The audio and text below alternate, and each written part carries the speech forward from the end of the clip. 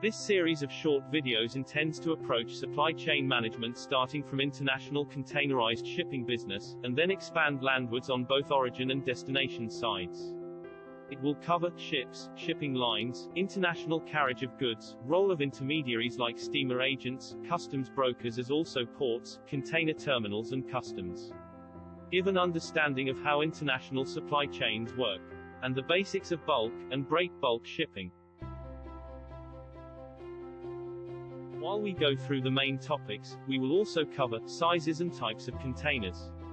Frozen and chilled cargo transportation, warehousing and fulfillment, losses and claims procedures and other connected matters.